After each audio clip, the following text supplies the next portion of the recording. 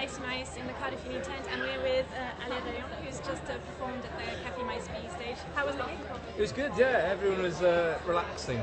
Oh, lush, yeah. Yeah. Um, can you just tell us a little bit about your journey with Horizons Horizon Discovery, how it's been for you? Uh, yeah, it's, well, it's been great. Um, so uh, the, uh, it was announced in April, and then we just straight into the festival season. Then, so we've just done lots of festivals around Wales and beyond. Um, and it's yeah, it's been great. You know, um, I've got, got to play, play places that I normally wouldn't have got to play. So uh, got to play in the Millennium Centre for the uh, Radio 2 Folk Awards, and that was great because it was in Cardiff as well, and Cardiff's my hometown, so it was it was nice. So has Horizons um, brought you something that you wouldn't have had uh, maybe um, by like promoting yourself or your own? Um, how has it actually helped you rise from? Uh, well, it's you get support. So uh, obviously they support everything you do outside of the gigs that they organise. So you, you know you'll get it's, it's you know they, they, they promote uh, they promote you as an artist anyway. You've got your own uh, micro site on the web on their website, things like that, and um, it's just uh, you know like I said, you get to play. Uh, places that maybe you normally wouldn't get to play. So it's just announced this festival number six uh, in Portmeirion, so it's literally just been announced uh, this week. So I'm very excited about that. I wanted to play that for a while, so that'll be good. What about um, being at the Ace Death? How's that for you? Uh, it's great. I've been coming to this town since I was small, um, and uh, it's it's you know it's it's a brilliant thing, um, and uh, it's it's great because they've got Cafe Maes B now on, on the Maes, Yeah. uh, which I think is a brilliant thing. So you can you know you can go there and chill out, lie on bean bags, and listen to music, which is uh, great. Had you always wanted to play? Did you always see yourself playing maybe here, there, somewhere?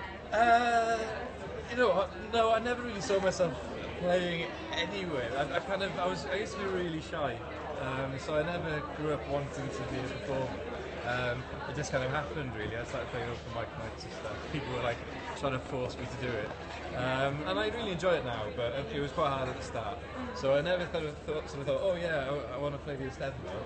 Um, but it's it's a you know it's a great thing to do. I think it's a, you know it's a great part of Welsh culture, um, and uh, I've been coming like I said since I was small, and it's you know it's it's, it's brilliant.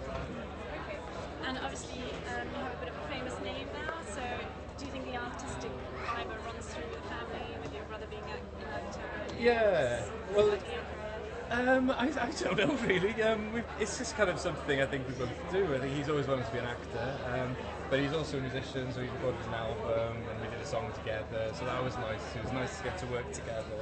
Um, but um, yeah, I think it's, it's I, I guess it must do.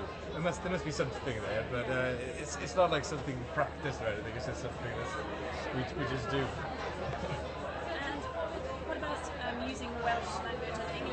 I gather you sing in both languages.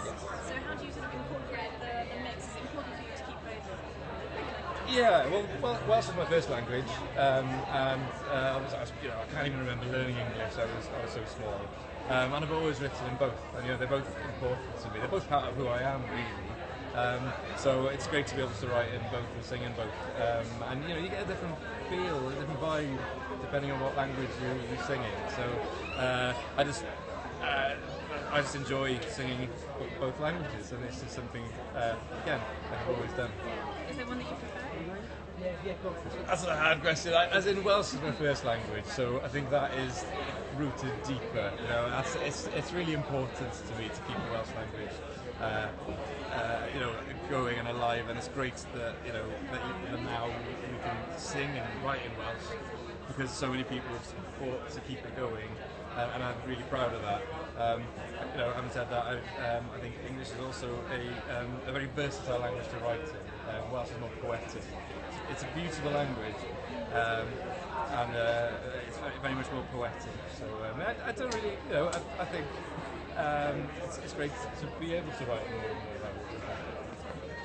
Okay, last question. Um, what are your plans next? How are you seeing yourself in the future? In the future, well, hopefully playing Glastonbury. No, um, I, oh, yeah, cool. um, I've got a new record coming out sort of towards the end of this year.